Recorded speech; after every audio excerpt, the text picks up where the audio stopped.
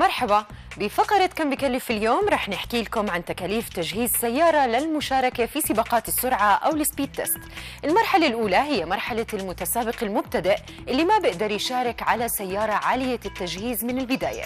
ولهيك بيقدر يستخدم سيارة شارع اللي هي السيارة العادية الشخصية. واللي لازم نحكيه إنه هالرياضة ما إلها مراكز تدريب متخصصة. يعني هالمرحلة ما بتكلفنا إشي.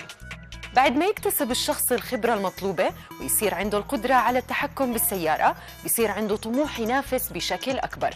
فبضطر يرفع من تجهيزات سيارته ويدخل على فئة أعلى من الاحتراف. وبهاي المرحلة بيحتاج لسيارة عائلية يعمل عليها أكم من تعديل. هالتعديلات بتتضمن المحرك اللي رح يكلف 1000 دينار الجير رح يكلف 100 دينار عجال وجنطات مستعملين ومعروفين بالعجال السليك ادجستبل وبيكلفوا 500 دينار. عندنا كمان السنوبرسات اللي بدهم من 200 ل 300 دينار. وآخر إشي تخفيف السيارة. بهالعملية بنشيل غرفة السيارة بالكامل ومش شرط يكون في عنا roll cage الفك والتركيب بهالمرحلة رح يكلفونا 50 دينار. وهيك هاي المرحلة بتكون كلفتنا من 2000 ل 3000 دينار. هلا بعد ما يوصل المتسابق لمستوى المنافسة ويصير حاسس إنه قدراته عالية لكن التقصير من السيارة بيكون صار الوقت لرفع قدراتها وهالإشي بحاجة لفريق صيانة مختص وكلفة عالية بتتضمن. سيارة مخصصة لسباقات السرعة فقط ويمنع قيادتها خارج الحلبة. وفي حال بناء هالسيارة من الصفر فرح تكلفنا 20 ألف دينار. أول إشي بتتفضل السيارة على الحديد والتفضاية بتكلف 500 دينار.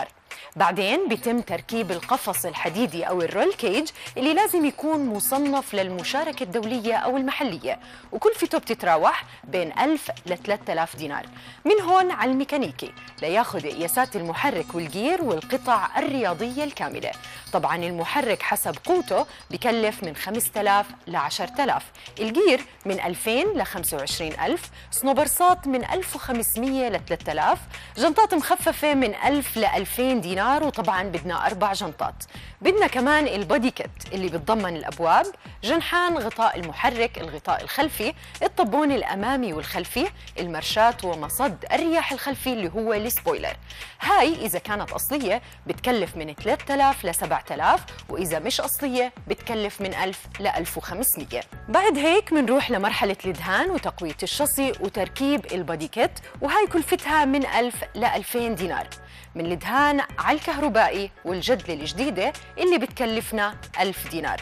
من التجهيزات والتعديلات المطلوبة كمان كرسي مصنف سعره من 500 ل 1000 steering سعره من 300 ل 700 بدلة متسابق مصنفة ضد الحريق وجوارب وخوذة بتكلف 1000 دينار.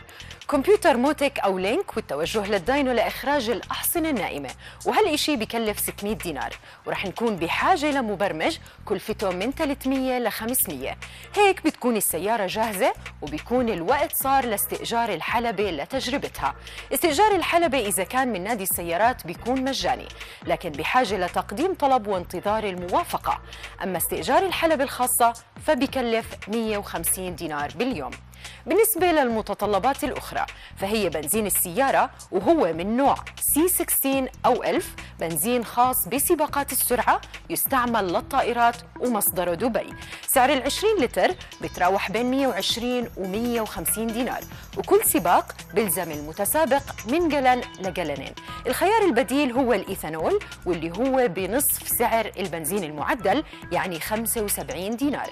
أكيد ما رح ننسى مرحلة التسجيل وإصدار الرخصة لسباقات السرعة مع الفحص الطبي الكامل وتكلفته من 100 ل 150 وقت السباق بنكون بحاجة لونشات لنقل السيارة رسومها من 50 ل 100 وطبعا السيارة بتتطلب صيانة كاملة قبل كل سباق بتكلف 1000 دينار سنويا بدون قطع الغيار. بالآخر مرحلة الاحتراف لهالرياضة رح تكلفنا 38620 دينار كحد أدنى. لكن مهما كانت الكلفة عالية على حلبة السباق بتضل كلفة الأرواح اللي ممكن نخسرها على الطرقات أعلى. نتمنى السلامة للكل كونوا أبطال على الحلبة ولا تكونوا متهورين على الشوارع.